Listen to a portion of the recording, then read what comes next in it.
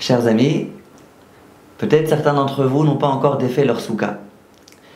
Et la question qui se pose, une personne qui souhaiterait aujourd'hui s'asseoir dans sa souka. Elle a fait par exemple une superbe souka sur son balcon. Et elle aimerait bien, cette personne, aujourd'hui, s'asseoir dans son balcon pour pouvoir manger un bon repas. Simplement, n'ayant pas encore retiré le srach, il s'avère que lorsqu'elle est dans son balcon, elle est en fait dans sa souka. A-t-elle le droit de le faire ou pas? Pour situer un peu plus précisément ma question, il y a une personne qui nous a téléphoné cette année, c'était vendredi. Alors, je vous rappelle, cette année, Soukot, ça tombait dimanche soir. La personne téléphone vendredi, en disant que elle n'a pas encore mis les décorations dans sa souka. C'est-à-dire que la souka est déjà complètement construite, le srach a déjà été posé, les tfanot, les murs, ont aussi déjà été posés. Simplement, les décorations qu'on a la coutume de mettre dans la souka en l'honneur de la mitzvah n'ont pas encore été mises. Et elle dit, et puis j'ai fait très attention à ne pas mettre les décorations avant Shabbat, parce que vu que Shabbat il fait un peu chaud, on aimerait bien manger sur notre balcon. Or, si jamais je mets déjà les décoratifs, il s'avère que c'est une véritable souka. Étant une véritable souka, on n'a pas le droit de s'asseoir dans la souka avant la fête de Sukkot, en vertu du principe qui est baltosif. je vous explique, je sais que pour certains d'entre vous, vous connaissez déjà ce principe. On n'a pas le droit, d'après la Torah, de rajouter des mitzvot à la Torah. De la même façon qu'on n'a pas le droit de retrancher des mitzvot de la Torah, on n'a pas le droit non plus d'en rajouter. Une personne qui dirait par exemple, moi Shabbat ça m'intéresse pas. Tout m'intéresse, toutes les 613 mitzvot, excepté Shabbat. Cette personne-là, qui respecterait toute la mitzvah sauf Shabbat, elle enfreint une interdiction qui s'appelle l'otigrahu. Vous n'aurez pas le droit de retrancher des mitzvot de la Torah. C'est évident. Si Hachem tient à ce qu'on respecte 613 mitzvot, c'est 613 et pas une de moins. Simplement, il y a des personnes qui se diraient, voilà, 613 euh, mitzvot, bon, c'est le minimum, mais moi j'ai envie de rajouter une 614e mitzvah. J'ai envie, par exemple, de faire deux Shabbats par semaine. Un le samedi et un le lundi. Cette personne-là, au moment où elle le fait, elle enfreint aussi une interdiction, qui est l'autosifun. Vous n'aurez pas le droit de rajouter de nouvelles mitzvot. Alors évidemment, certains maîtres s'interrogent, ils disent mais pourquoi pas? J'ai rien fait, j'ai pas diminué des mitzvot, au contraire. J'ai montré mon entrain et mon amour pour la Torah. Et je suis même prêt à en faire plus, je suis même prêt à rajouter des mitzvot. Quel est ici le problème? Pourquoi suis-je condamnable? Et en fait, la réponse qui est donnée généralement, c'est de dire que notre foi, c'est que la Torah, telle qu'elle est, est parfaite. La Torah doit être inamovible parce qu'elle est parfaite telle qu'elle est. Et si je pense que moi je suis plus intelligent en quelque sorte que Dieu, et que je peux rajouter une mitzvah, ça veut dire que je considère que la Torah sans cet ajout est imparfaite. Et ça c'est gravissime. Donc de la même façon que lorsque je retire une mitzvah, j'occulte une mitzvah de la Torah, je prouve par là que la Torah est imparfaite. De la même façon, lorsque j'en rajoute, je prouve qu'elle est imparfaite et ça c'est interdit. Donc nos maîtres nous disent que une fois que la fête de Sukkot est terminée, le lendemain, on n'a pas le droit de s'asseoir dans la souka. Pourquoi? Parce que lorsqu'on s'assoit dans la souka, il, y aurait, et je dis bien il y aurait, un problème de baltosif. J'en rajoute. Hachem a demandé pendant 7 jours d'être dans la souka.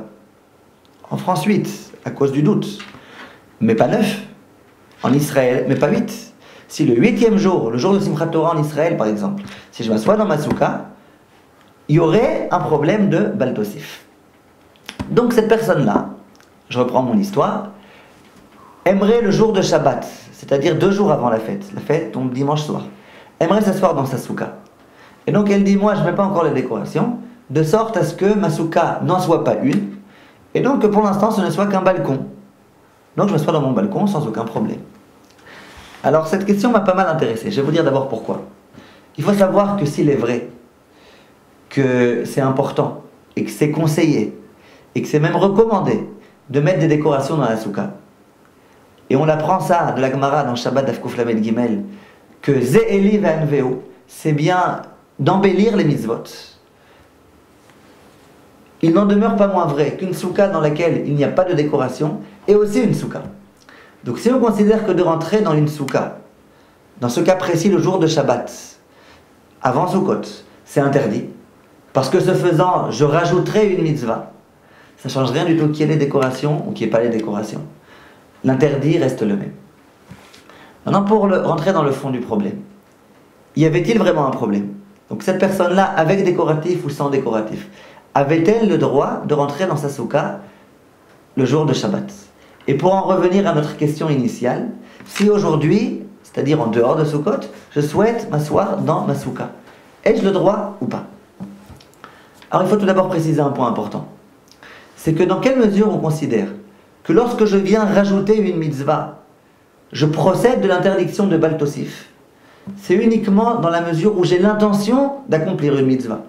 Si le jour de lundi, par exemple, je dis aujourd'hui, je viens accomplir le Shabbat, c'est mon Shabbat à moi, le Shabbat que j'ai moi-même inventé, et donc je suis inactif. Là, effectivement, j'ai une interdiction de l'autosifoun, une interdiction de la Torah. Si par contre le jour de lundi, j'ai rien à faire, j'ai envie de me reposer, de me faire une grasse matinée, une grasse après-midi, une journée farniente, comme on dit en italien, je crois. J'ai envie de me reposer. Donc, je ne prends pas la voiture. Donc, évidemment, j'éteins le portable. Si je veux pouvoir ne pas être trop stressé, ça s'impose. J'allume pas l'ordinateur, je fais rien du tout. Est-ce qu'on va dire, oh, tu as rajouté un Shabbat le jour de lundi? J'ai rien fait. J'ai même pas eu l'intention d'accomplir Shabbat. Donc là, évidemment, il n'y a pas de problème. Dès lors, une personne qui, le huitième jour en Israël, le neuvième jour à l'étranger, souhaite s'asseoir dans sa souka. Est-ce qu'elle se dit à ce moment-là, je m'assois pour accomplir la mitzvah de souka Généralement, non. La personne souhaiterait s'asseoir dans sa souka parce que c'est le seul endroit dans lequel il y a un peu d'air. Et elle aimerait bien bénéficier, profiter de cet air. Et donc, elle va dans la souka. Elle sait très bien que la fête de Sukkot est révolue. Elle sait très bien qu'il n'y a plus aucune mitzvah à s'asseoir dans la souka. Donc, logiquement, il n'y a pas de problème ici de baltosif. Simplement, nos maîtres nous disent, s'il est vrai qu'il n'y a pas de problème de baltosif, les gens, lorsqu'ils vont te voir t'asseoir dans ta souka, ils vont penser que toi tu fais un baltosif. Ils risquent de te suspecter de vouloir en rajouter. Et ça, en soi, c'est déjà problématique. Donc, sois gentil. Tu veux t'asseoir en ta souka le huitième jour de Sukkot, le neuvième jour en, en il faut tout d'abord que tu rentres ta souka inapte à l'utilisation. Par exemple, tu enlèves une partie du srach, ou tu mets par exemple une bâche au-dessus du srach, de sorte à la rendre déjà inapte à la mitzvah. De cette façon-là, c'est déjà clair que tu n'es plus en train d'accomplir une mitzvah. C'est déjà plus une souka, cette chose-là. Donc a priori, il sortirait de là que le jour d'aujourd'hui, déjà quelques semaines après Sukkot, j'ai plus le droit de m'asseoir dans ma souka. En fait, il faut savoir que non. Tout ce que nos maîtres disent, et comme ça les décisionnaires écrivent, qu'il y a un problème le huitième jour en Israël ou le neuvième jour à l'étranger de s'asseoir dans sa souka, c'est uniquement parce que ça succède la fête. C'est tellement proche de la fête, c'est le lendemain de la fête. C'est tellement proche qu'une personne qui en vient à s'asseoir dans sa souka ce jour-là, on risque vraiment de penser que cette personne-là veut en rajouter.